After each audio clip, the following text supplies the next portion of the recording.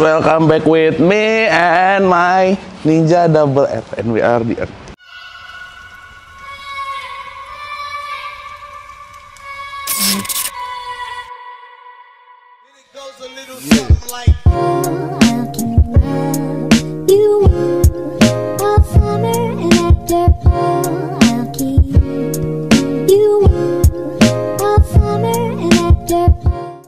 Jadi di video kali ini gue bakal bahas gimana caranya bikin Ninja RR kalian kece under Gotiao atau 5 juta.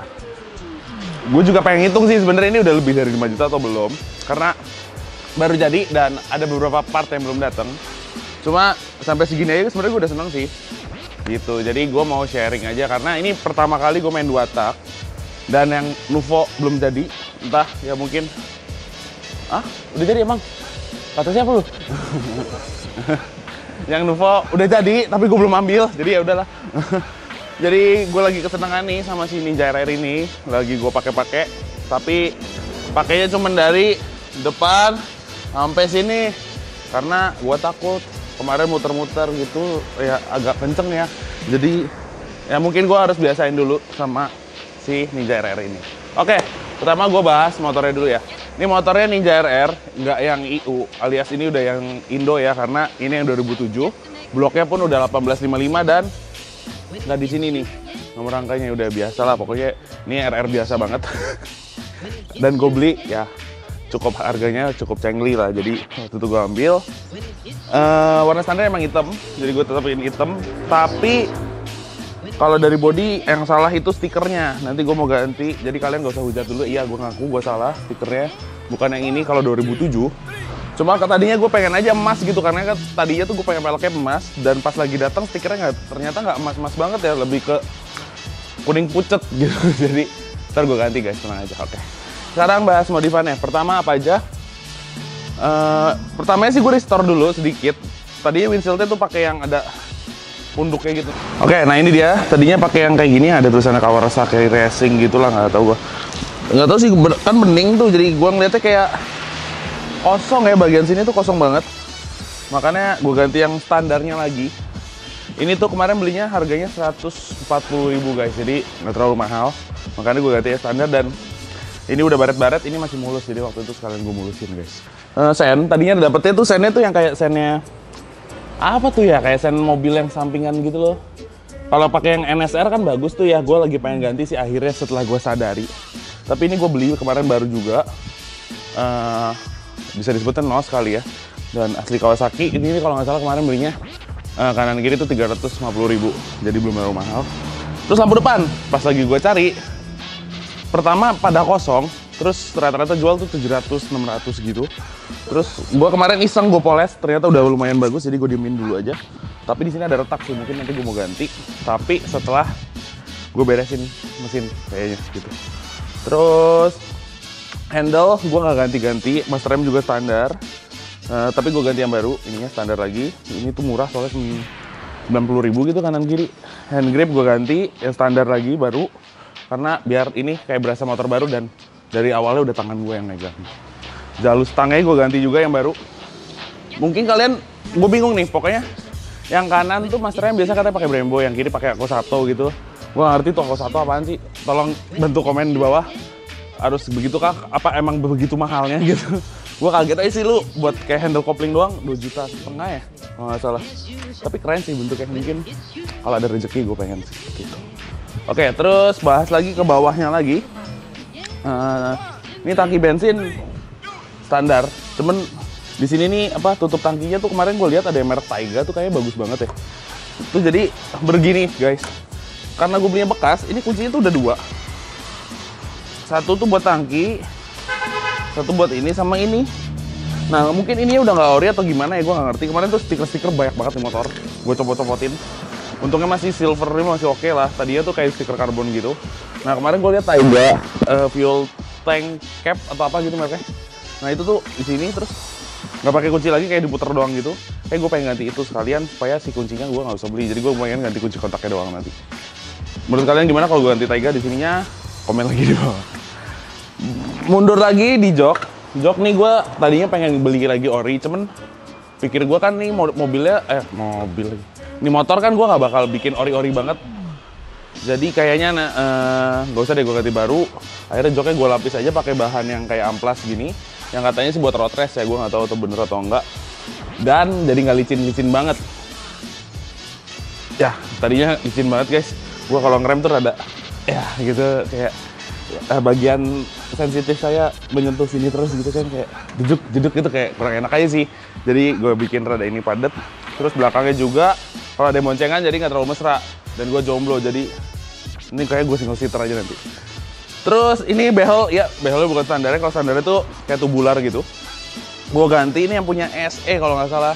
Dan bagus kayak gini harganya cuma 150.000 ribu. Jadi ya udahlah nggak ada salahnya dibeli gitu. Ya udah, gue ganti dan ya lukanya langsung lebih bagus sih. Terus sen belakang, ini gue ganti kacanya doang. Eh, kacanya tuh harganya 35.000 satunya. Terus langsung bikin kelihatan fresh gitu. Jadi gue ganti ya berusaha langsung karena tadinya bawa- dia kacanya pakai yang punya Ninja R yang bening gue nggak suka sih. Cuman kecuali kalau motornya dibikin albino gitu warna putih kayak ini putih bagus sih. Cuman ya depends on you ya. Jadi menurut gue gitu. Terus ini spakbor belakang gue ganti baru karena si spakbornya tadi dipotong di sini. Jadi pendek banget gitu. Terus tadinya kan pakai pelek standar tuh kecil banget. Jadi kayak motornya untuk kopong banget. Akhirnya gue kemarin beli ini spakbor juga belakang murah banget guys, cuman 175.000 ribu. Kalian dapat spakbor baru daripada kalian repot-repot ngecat, beli baru aja. Oke, sekarang ke bagian kaki-kaki. Oke, pelek pertama gue peleknya pakai Daichi Alloy versi lokal alias Virosi guys. Jadi ini gue beli nggak beli sih actually kayak ada di bengkel tiba-tiba dari Mr. Alvin. ini sebenarnya eh, emang miripnya bentuk mirip banget sama Daichi, tapi detailnya tuh beda. Dan nanti kita bikin videonya mungkin ya perbedaannya eh, motor head-on, Ninja head-on sama Ninja yang kayak gua gini yang low budget. Eh, nanti kita bikin kalau kalian setuju komen aja di bawah. Nah ini pakai Daichi, Daichi ini tuh kalau nggak salah harganya satu juta seratus. Terus bannya gue pakai Pirelli Diablo Rosso yang katanya sih eh, oversize-nya keterlaluan. Cuman menurut gue sih masih bagus-bagus aja ya walaupun emang di sini di bagian spakbor tuh udah rapet banget karena gue depan pakai 110 per 70 17 jadi katanya kegedean sih cuman gue suka aja sih gambot gitu. Oke terus itu di bagian depan sekarang kita ke bagian belakang sekarang kita lihat knalpotnya guys. Oke sekarang kita di bagian belakang. Pertama sih eh, waktu itu gue dapat nih motor knalpotnya udah dibilang niat bikin knalpot enggak lah itu yang bikin ini udah hancur banget. Akhirnya waktu itu gue tadi eh, ny- sempat nyari-nyari eh, Crimpy atau Ahau waktu itu gue pengennya. Cuman kebetulan ya gue lihat-lihat kayaknya itu alasannya begitu-gitu aja deh. Gue nggak ngerti kan maksudnya gue pengen mempelajari lah apa bedanya knalpot mahal dan knalpot enggak. Knalpot kayak gini gue beli eh, jujur aja ini knalpot Purbalingga harganya tuh cuma 450.000 ribu sampai ujungnya terus gue nanya-nanya sih katanya si silencer bisa diganti waktu itu. Jadi ya udahlah gue nggak buat ngebut juga. Dan ternyata sih kemarin gue nanya ke bengkel knalpotnya masih bisa di style lagi. Entah kayak dibobok atau apa lagi. Jadi yang penting silencer ya silencernya makanya gue kemarin beliin Taiga. Nah kayak gini nih. Jadi nanti much better sih ya. Ini ya gue nggak suka ininya. Nih kayak kepanjangan banget ya nggak sih guys? Jadi kayak Alah gitu lah. Jadi ini sebelum mesinnya nanti gue mau overhaul, overhaul atau turun mesin, gue mau ganti blok. Itu tuh kayak banyak bocor nih, gue nggak tahu apaan sih, banyak oli gue sayang juga kan. Jadi ini gue simpen dulu. Nanti kayak gini. Keren banget sih, sumpah.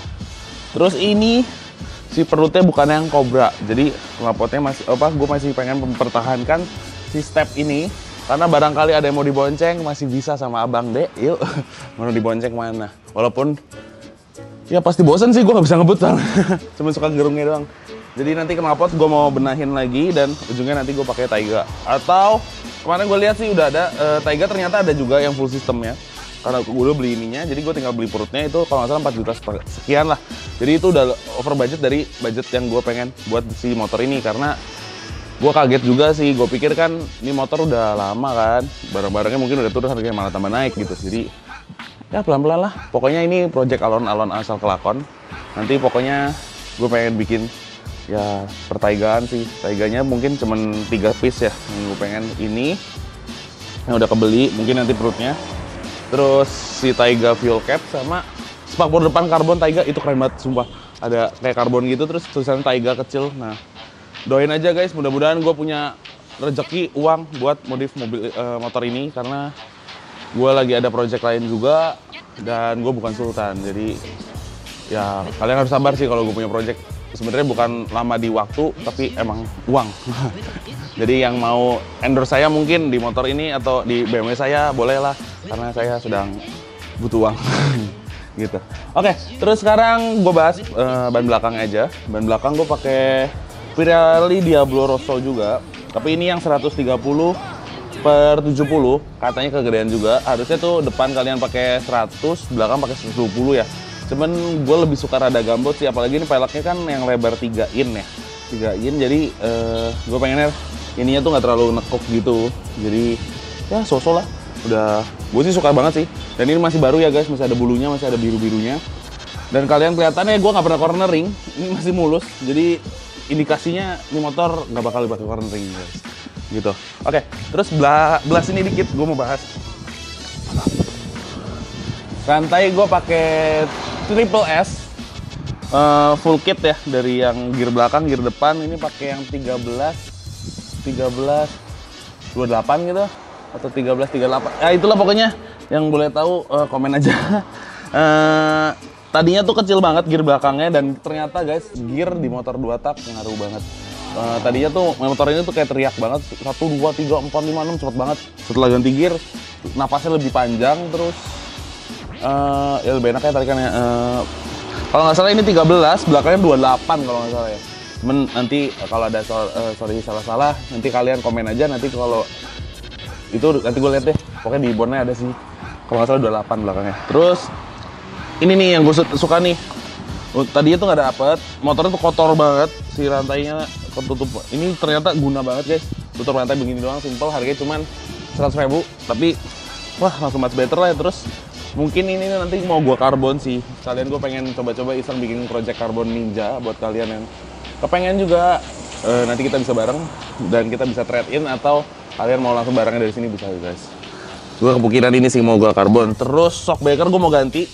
Karena shockbreaker belakang ini entah kenapa emang udah jelek kali ya. Gue pengen ganti eh, solihin Alien of Lens itu harganya sekitar 7 juta sekian. Makanya nanti itu di to do list gue selanjutnya setelah gue benerin pengereman dulu sama mesin. Mesin mesin ini sebenarnya nggak terlalu jebol ya nggak terlalu kretek. Temen karburatornya ternyata udah di rimmer sampai 32 karburatornya jadi ya mungkin mesinnya udah perlu dibenahin sih. Karena ya udah kurang enak aja lah kalau kata gue ya cuman karena gue bawanya pelan jadi nggak terlalu ma- masalah. Cuman kata temen gue aja sih ini motor kalau bisa si pis kalau pistonnya nggak masalah boringnya aja diganti katanya. Karena kalau Ninja tuh konon katanya nggak bisa di oversize gue nggak tahu sih. Jadi kita cek aja nanti pas lagi gue benerin mesin gue pasti eh, update lagi ke kalian gitu guys. Oke. Oke jadi ini project dua tak pertama gua berbeda dengan Alvin yang udah pokoknya dia bulan lalu ya kayak 8 ya beli motor dua tak. Gue sih satu aja ini sudah cukup dan mungkin kita nanti bakal bahas terus proyeknya karena masih banyak yang belum dipasang. Dan tadi gue pikir mau gue jual cuman setelah serapih ini ya nggak rapi banget sih bodinya nanti gue mau gue cat beberapa gue ganti baru dan ada yang gue cat juga kayak tangki gitu kayak gue cat aja sih. Soalnya ke body full set tuh 5 jutaan lagi ya daripada gue buang duit body doang. Dan ini kita body repair kayak kita cat aja nanti guys. Udah kayak sama kayak orinya deh gue nggak takut. Jadi itu paling eh, kalian tungguin aja. Kalau kalian suka sama project-project ninja kayak gini komen aja di bawah. Kita bakal ikutin terus request dari kalian. Jadi nggak perlu takut. Kalau kalian suka ngomong aja guys. Oke mungkin bahasannya begi- begini dulu. Sekarang kita mau bahas totalnya. Gue udah bawa kalkulator kalkulator pasar. Pakai bencong belum oke pertama dari bawah deh. Pelek itu juta 150 ditambah knalpot sebelum dipasang Taiga berarti Taiga nggak usah dihitung dulu karena belum dipasang. Knalpotnya itu harganya kalau nggak salah 450 ribu. 1 juta 600 bannya itu 1150 lagi. 2 juta 750 behel gini 150 ribu. 2 juta 900 terus gua apa sih? Udah sih gua modif itu doang. Sisanya restorasi ya kita hitung aja kali ya yang gua ganti di motor ini. Pertama kayak ginian nih 100 ribu kan ya? Tadi berapa sih gua bilang? 100 kan? 100 ribu 3 juta. Ini jalur stang tuh 100 250 eh 250 terus hand gripnya tuh 80.000 handle-nya 90.000 terus sen ini 250 kalau nggak salah ya. 3.670 terus kayak stiker-stiker nggak usah dihitung lah ya murah. Eh, gear. Gear itu 500 Terus behel tadi udah. Eh, tutup rantai 100 ribu. 4270 Eh, ini gue beli tadi 125 ya. 125 terus service-service nggak usah dihitung. Udah nggak sampai 5 juta guys. 4 juta 395 jadi kalian dengan 4 juta 395 apalagi kalau dapat bahannya bagus tadi tuh cuma 3 jutaan sih udah bagus ya Ninja. Maksudnya udah proper look tapi nggak proper buat dipakai banget sih nggak sih. Karena ya knalpotnya masih begini terus mesinnya belum diapa-apain. Kalau mesin kemarin gue tanya-tanya eh, abis sekitar kalau lu mau pakai 1878 tuh sekitar 8 jutaan lagi ya. Jadi kalau tambahin 8 juta 12 juta terus ini sejuta marah ah jadi head on juga sih. Nggak nggak, nggak, cukup cukup cukup. Kayak kayak mesin gua kita bikin Orion aja deh. Mahal jadinya gitu. Cuman ya gue sih udah seneng sih buat maksudnya buat dipajang-pajang. Kalau mau dipajang ntar tinggal pasang knalpot gitu ya. Gitu. Oh iya gue belum hitung ini tadi kan 4 berapa? Z? 4350 kalau kalian udah tambahin ini ini harganya sejuta dua ratus 50 jadi 5 juta 600 guys. Jadi kalian 5 juta 600 sudah dapat knalpot eh, Thailand Taiga. Ini keren banget silencernya. Bisa dilihat ya kayak sampai sini ini ini bagus banget dalamannya. Rapi banget lasannya segala. Ini ada sih replikanya cuman eh, kalau beda dikit mendingan beli ori guys. Tuh lihat. Ini yang Purbalingga pas lagi diginin uh kacau keren banget sumpah. Ah, pasang. Gue gatel sih pengen pasang cuman motor belum rapi jadi tungguin ya guys. Gitu. Jadi pokoknya intinya itu gue modif ini cuma habis 5 juta 600 motornya udah oke. Paling nextnya gue mau cat-cat sasis body gitu sekalian pas lagi turun mesin. Mudah-mudahan bisa direkam semua nantinya. Jadi ditungguin aja guys. Jadi mudah-mudahan bermanfaat juga karena gue newbie banget di motor gue nggak ngerti apa-apa. Mungkin kalian ada yang ngomong lu pakai pelek itu goblok banget sih atau apa terserah. Gue masih belajar jadi macam eh, bareng-bareng aja. Kita sharing aja tolong bantu gue mungkin peleknya harus apa atau apa bantuin bareng ya guys. Jadi intinya itu gue masih pasti bangun motor ini. Entah warnanya mau diganti atau tidak sih gue masih belum tahu ya cuman kalau ninja tuh lebih ketemunya kebanyaknya purist kan. Jadi mungkin eh, dari segi warna gue harus ikut tetap ke orinya. Atau mungkin ori ninja tapi warna lain atau birunya. Gue suka sih sebenarnya biru navy ya. Cuma waktu itu nyari nggak ada jadi gue ambil ini aja gitu. Mungkin ya gini deh. Pokoknya menurut kalian gimana project pertama motor ninja dua tak gue dengan pengetahuan seadanya? Mudah-mudahan kalian suka eh, dan dan ya eh, jangan lupa kalau kalian mau lihat eh, project ninja ini ada di Earth Motoclads terus ada- kita masih punya 6 Instagram lainnya jadi kita punya 7 Instagram linknya ada di sini. Jangan lupa subscribe juga karena di 50k ada sesuatu yang bikin gue sedih tapi kalian pasti seneng.